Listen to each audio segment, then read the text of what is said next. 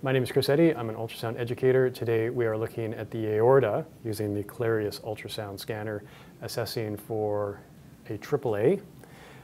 Begin with the scanner in a transverse orientation with the indicator towards patient's right. And begin with the scanner up by the xiphoid. Palpate the xiphoid if need be.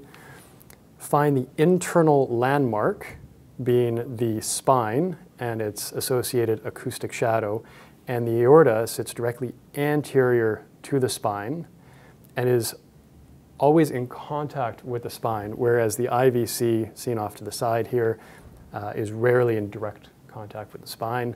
Once you've identified your aorta, you can change your depth to maximize your image and begin sliding the scanner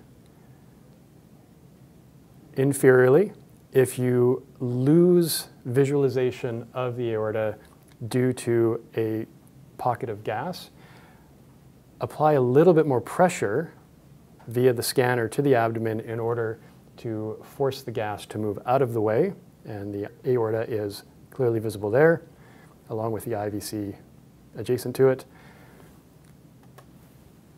If you are unsure of the measurement of the aorta just by visually assessing it, you can freeze the image and place a caliper at the anterior wall and posterior wall of the aorta. And that measurement should not be more than three centimeters.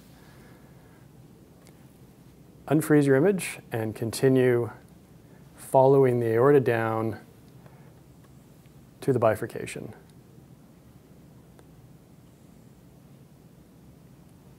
And that is an assessment of the aorta using the Clarius ultrasound scanner.